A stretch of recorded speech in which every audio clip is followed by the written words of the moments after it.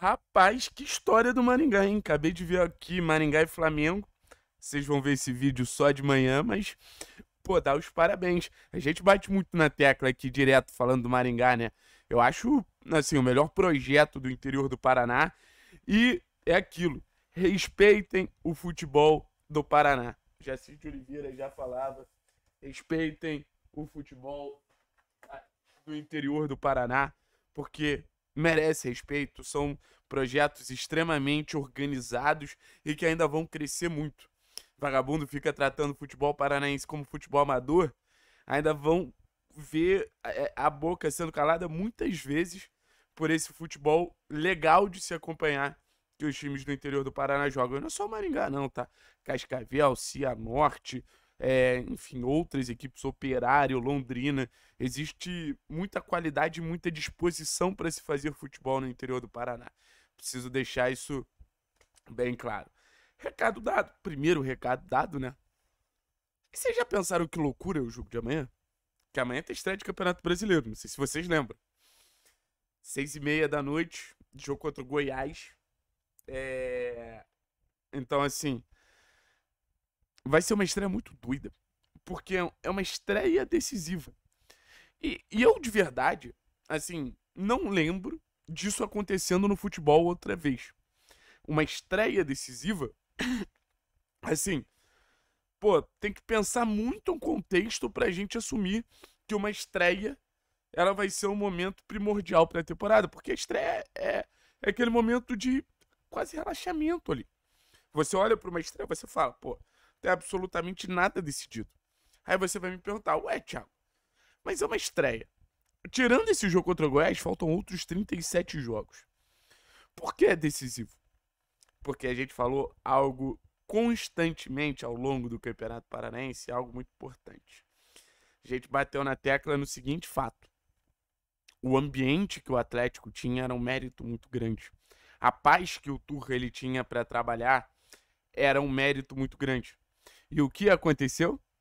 As atuações ruins vieram, o título paranense até veio, mas veio a primeira derrota na Copa do Brasil, veio o tropeço na estreia da Libertadores, e com esses resultados vem o quê? Pressão. E com essa pressão vem o quê? Cobrança.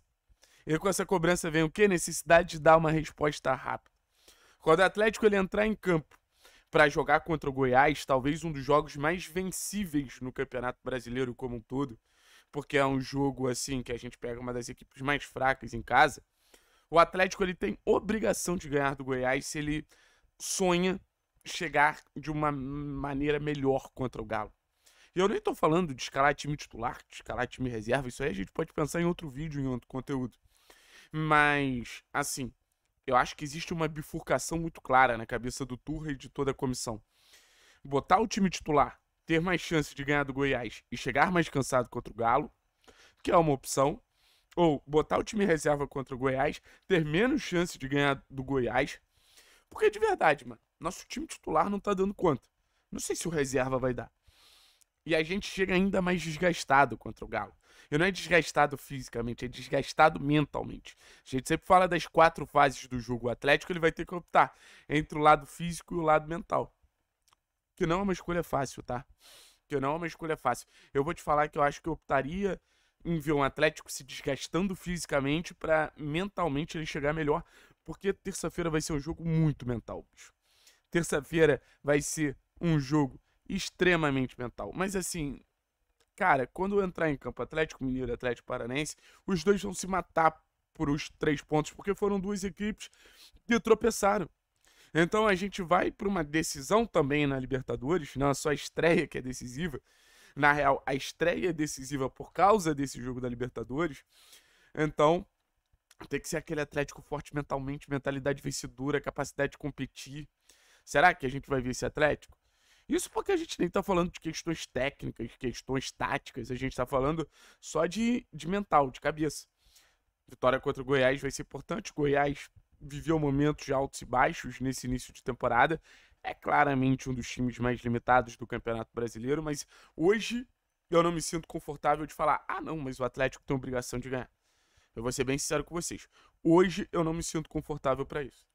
Eu não me sentia confortável contra o CRB, vou me sentir confortável contra o Goiás. Acho que hoje o Atlético ele não ganha antes de ninguém. Tô preocupado desse jogo contra o Goiás, bicho. Tô preocupado. Espero que o Turra saiba mais ou menos ali o que ele tá fazendo. E como em todo jogo decisivo, a gente já falou de entrar com titular ou reserva, mas como em todo jogo decisivo, eu acho que pelo menos uma referência tinha que estar tá ali, né? Uma referência técnica, uma referência de liderança ali. Porque se tu pensa o time reserva hoje do Atlético é. Vou botar reserva completa. Léo Link, Madison, Matheus, Pedro e Fernando. Hugo Moura, Léo Cittadini, Alex e Vitor Bueno. Aí você tem quem pelo lado? William e, e Pablo. Não é, assim, não é um time que passa muita confiança, né? Como eu falei, nem o titular tá passando, imagina o reserva. Então essa estreia vai ser complicada, velho. Essa estreia vai ser complicada. Qual é o retrospecto do Atlético em estreia de Campeonato Brasileiro? Vamos tentar lembrar. Ano passado foi aquela sacolada pro São Paulo, 4 a 0 sem mais nem menos. 2021 a gente começa ganhando do América Mineiro. 2020 aí eu já não lembro, velho. Sendo bem sincero que em 2020 eu já não lembro.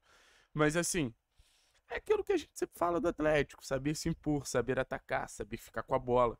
Ano passado a gente fez contra o Goiás na reta final um jogo muito bom com o Vitor Bueno e Terãs, inclusive. Acho que foi a primeira vez que essa comissão ela tentou Vitor Bueno e Terãs ali próximos, sabe? E, e, deu muito certo, porque já era um momento que o Atlético jogava mal, já era um momento que o Atlético oscilava. E acabou dando muito certo no cenário como um todo ali. É... O Atlético ganhou o jogo. Foi uma vitória importante para a gente se classificar para Libertadores dessa temporada. Eu vou ser bem sincero com vocês, velho. Eu acho que vai ser um Goiás que vai tentar aproveitar o nosso momento absurdamente, assim. Vai tentar se defender, vai tentar enervar o jogo o máximo possível. Aí a gente tem que ver o lado do Turra nesse sentido também, né? Porque muita gente critica, ah, o Turra é inexperiente, o Turra é isso, o Turra é aquilo. Mas muito dessa inexperiência passa como saber lidar com momentos de muita cobrança, como saber lidar com momentos de pressão, dentro de campo e fora de campo. Porque acho que fora de campo, o Turra ele já passou por muita coisa. Ao lado do Filipão, o Turra ele já passou por muita coisa, mas dentro de campo, talvez a gente veja esse desafio sendo potencializado. Será que o Turra ele vai dar conta? Será que o Turra ele vai conseguir? Sabe? Então, o sentimento ele passa mais ou menos por aí. Sinto que o Atlético, como eu falei, vai precisar contar com suas referências, cara. Por exemplo, eu não vejo o Atlético não ganhando um jogo sem pelo menos ter Terence ou Vitor Roque em campo. O Atlético hoje claramente depende desses caras. Pode poupar o Thiago, pode poupar. Até porque. Poupar o Thiago não, né? Porque o Thiago não joga contra o Galo, mas pode poupar o Fernandinho.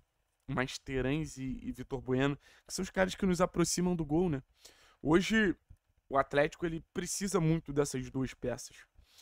O é um cara criativo e finalizador. O Rock ele vem conseguindo produzir muito as chances dele. E eu acho que isso é muito importante também numa jogada individual, desequilibrar. Muita gente fala, né, que o Atlético, ele só cria na individualidade, apesar de eu discordar disso, inclusive o gol que a gente teve anulado contra o CRB foi um belíssimo gol.